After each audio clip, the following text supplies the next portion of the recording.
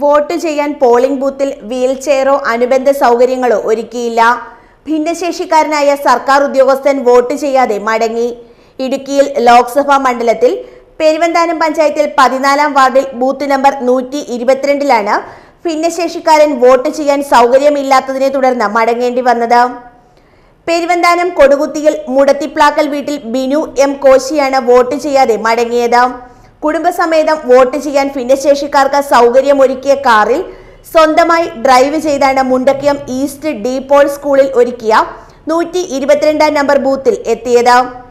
കാറിൽ നിന്നും പോളിംഗ് ബൂത്തിലേക്ക് വരെ പോകാൻ വീൽ ചെയർ ആവശ്യപ്പെട്ടു. എന്നാൽ വീൽ ചെയറോ മറ്റ് സൗകര്യങ്ങളോ ഒരുക്കാത്തതിനെ തുടർന്ന് ബിനു വോട്ട് ചെയ്യാതെ വീട്ടിലേക്ക് തന്നെ മടങ്ങുകയായിരുന്നു.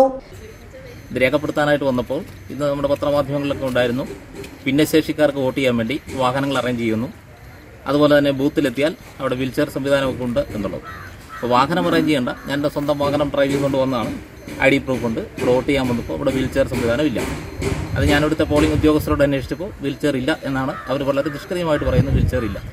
അതിന് മറ്റു നടപടികളോ കാര്യങ്ങളോ ഒന്നും അവരുടെ ഭാഗത്തുനിന്നും ഉണ്ടായിട്ടില്ല. അതുകൊണ്ട് എന്റെ മൗലികാവകാശമാണ് വോട്ട് ചെയ്യാന്നുള്ളത്. ഈ വോട്ട് ബഹിഷ്കരിച്ച് എനിക്ക് മടങ്ങി മടങ്ങി പോകേണ്ട സാഹചര്യമാണ് ഇപ്പോൾ ഉള്ളത്. ഭിന്നശേഷിക്കാർക്ക് മതിയായ സൗകര്യം പോളിംഗ് സ്റ്റേഷനിൽ ഒരുക്കിയെന്ന ഇലക്ഷൻ കമ്മീഷന്റെ പ്രഖ്യാപനം നടപ്പായില്ല.